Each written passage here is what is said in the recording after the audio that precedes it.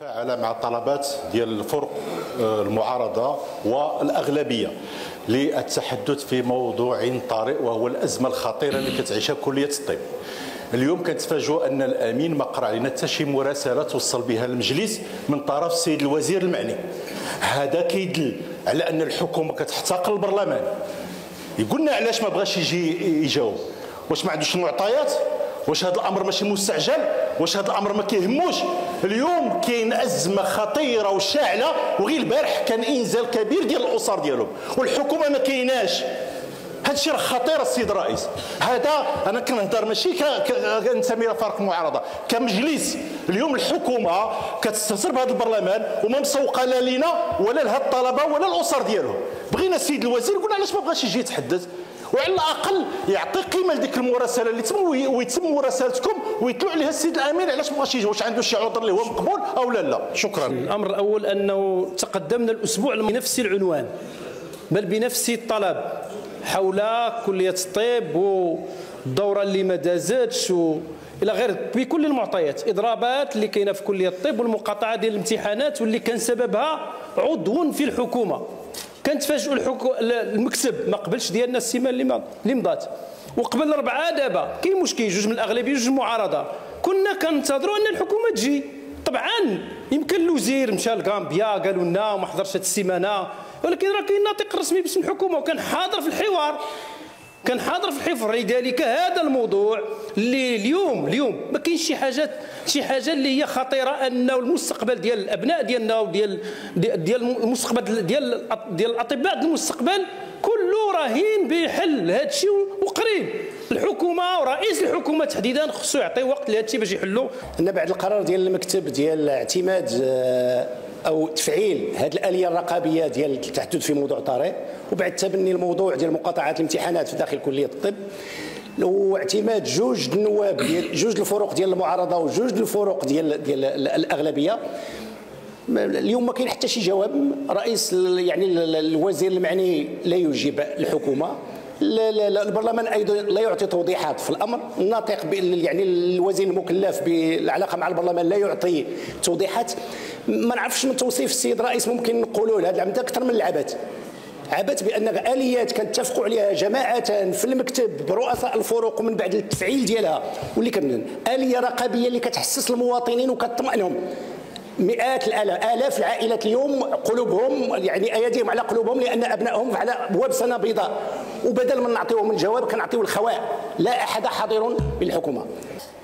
الاستهتار اللي كتعرفها الجلسة. غياب خمس قطاعات عن عن الجلسة. هذا استهتار واستخفاف بالعمل التشريعي. ما يمكن ليناش أن الحكومة تتعامل مع البرلمان بهذا الشكل هذا. عيب وعار. وحنا في هذه اللحظة هذه قطاعات حيوية. والمواطنين كيغلي والشارع كيغلي. آه، موضوع عملية مرحبا. مواضيع اللي مهمة. والقطاعات غايبة.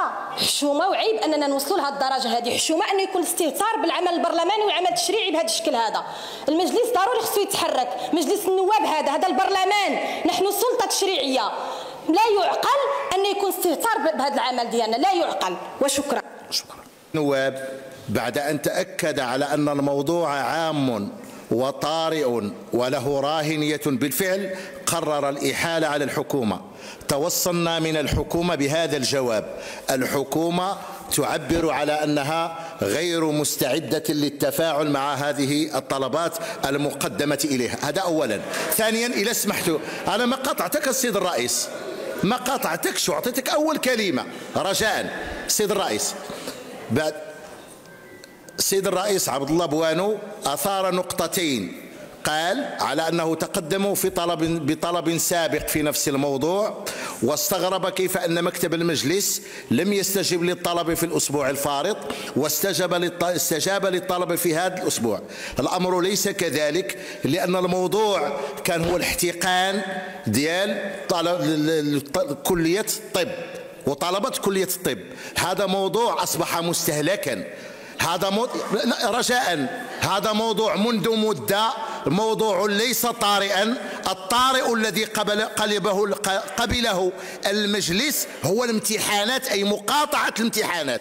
لذلك طلب عندما تعلق بمقاطعة الامتحانات بالفعل هو الموضوع ذي الراهنية الآن. لذلك تم قبوله وإحالته على الحكومة. يكسد الرئيس على تلاوة المراسلة ومن المفروض كان يتلوها الأمين لأن الأمين لا لا توصل بس عاد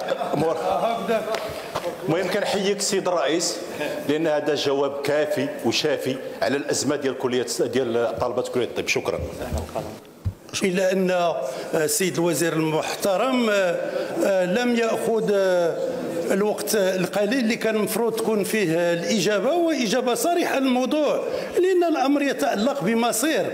مصير وليداتنا مصير البلاد. طبعا كما قلت لكم إحنا الدولة فوق كل اعتبار ولكن في نفس الآن وليداتنا راه تقليد في أنقنا وما أقدركم عاليا في التفاعل ديالكم مع هاد نقاط النظام. والجواب ديالكم الصريح غير الطلب ديالنا اللي كنا تقدمنا به هو استمرار الاحتقان صحيح بكلية الطب والصيدلة والتدابير الكفيلة لتفادي سنة بيضاء. هو اللي كاين في العناوين اللي قدموها الإخوان في المعارضة والأغلبية. وخا فيها الامتحان ولكن فيها تفادي السنة البيضاء. في واحد الوضعية حرجة كمعارضة نقولها لك السيد الرئيس. حرجة كمعارضة. دابا الحكومة ما بغاش تجاوب معنا في هذا الموضوع. شنو بغينا شنو نديروا حنا؟ يلا. دابا كنا شحال هذه مع المكتب. دابا المكتب دار شغله الله يجزيه بخير. أنتم درتوا شغالكم. شنو شنو دابا؟ المجلس شنو شنو خصو يدير؟ خليني خليني نقول لك السيد الرئيس بأنه كانت مبادرات السيد الرئيس راه راه انسحب. أرجو أن يكون بخير لأن المجلس دار مبادرة قبل من هذا الشيء وبغى يتوسط. والحكومة نسفاتو وهذا الوزير هو اللي نسفو. واسمحوا لي نقولها بكل هذا الوضوح. اللي شنو اللي مطلوب منا؟ أننا الطلبة اليوم ما كيقراوش ما دوزوش الامتحان حنا نساهموا في سنة بيضاء. غير ممكن وغير معقول. شكرا. انسحاب فروق المعارضة نتيجة عدم تجاوب آه، مجلس المكتب ديال مجلس النواب. اليوم مكتب مجلس النواب تفاعل وبدوري غادي نبغي نشكركم كثيرا على الوضوح والصراحة. في قراءتكم للرساله والجواب ديال الحكومة؟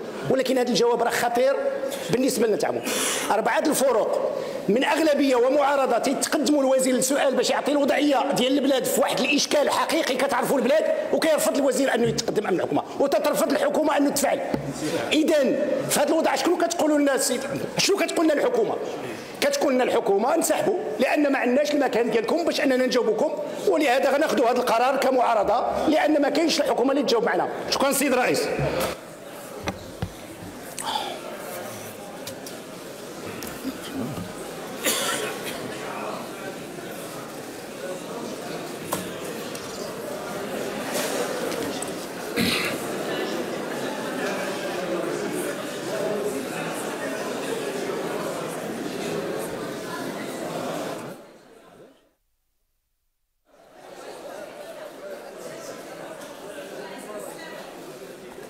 الله يسلمك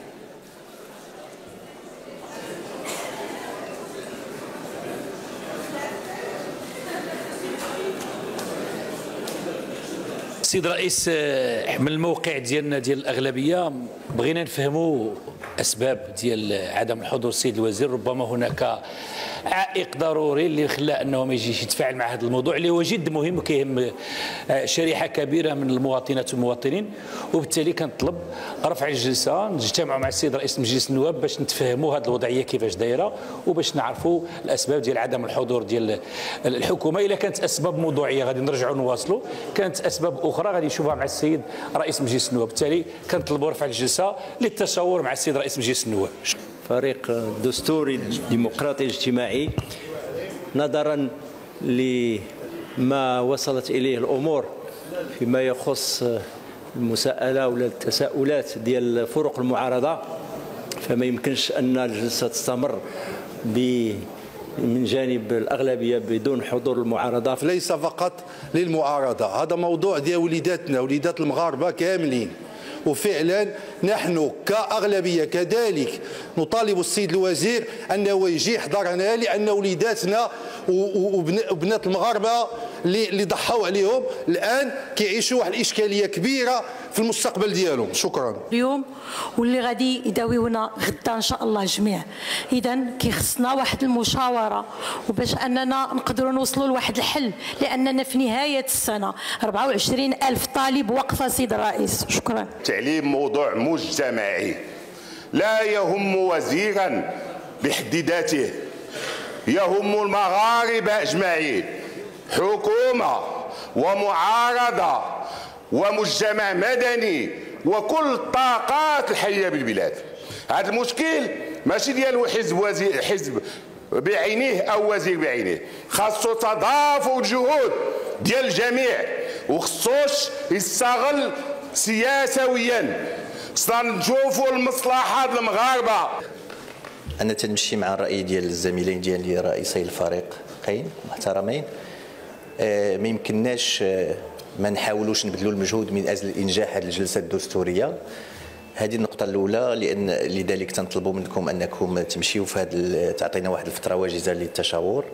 هذه النقطة الأولى. النقطة الثانية نأكدوا في فريق التجمع الوطني الأحرار أننا مع راهنيه هذا الموضوع مع أهميته وبغينا نتحاوروا فيه وبغينا تكون المعارضة وبغينا تكون الحكومة. حنا نفهموا الظروف اللي جعلت أن الحكومة ما كايناش يعني نحاولوا نتمتعوا بواحد آه، سعه الصدر باش نفهموا الهواجس ديال كل طرف ونتمناو تقبلوا طلبنا. نحرص على تطبيق القانون. ما أثير لا علاقة له بمكتب مجلس النواب ولا بالمؤسسة التشريعية.